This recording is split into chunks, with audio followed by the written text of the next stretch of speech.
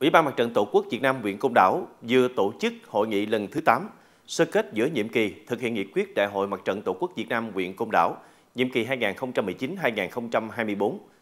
Trong nửa nhiệm kỳ qua, Mặt trận Tổ quốc huyện Côn Đảo và các tổ chức thành viên đã thực hiện tốt công tác tuyên truyền, vận động, tập hợp các tầng lớp nhân dân đoàn kết chấp hành chủ trương chính sách của Đảng, pháp luật của nhà nước,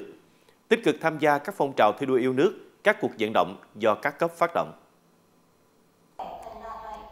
Trong 2 năm 2020-2021, khi dịch bệnh COVID-19 diễn biến phức tạp, Mặt trận Tổ quốc Việt Nam huyện Côn Đảo đã phối hợp các đoàn thể, vận động gần 920 triệu đồng, ủng hộ quỹ vaccine, quyên góp ủng hộ 527 triệu đồng và 33,5 tấn lương thực hàng hóa hỗ trợ nhân dân gặp khó khăn và phục vụ công tác hậu cần cho tuyến đầu chống dịch.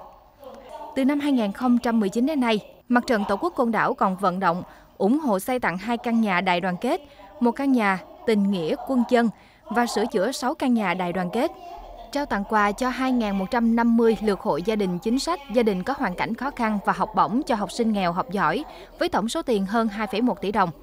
Triển khai nhiệm vụ nửa cuối nhiệm kỳ 2019-2024, lãnh đạo Mặt trận Tổ quốc huyện Côn Đảo cho biết, mặt trận các cấp của huyện sẽ tiếp tục đổi mới nội dung, phương thức hoạt động, hướng về cơ sở, thực hiện tốt công tác giám sát, phản biện xã hội, phát huy dân chủ, đại diện, bảo vệ quyền và lợi ích hợp pháp chính đáng của nhân dân.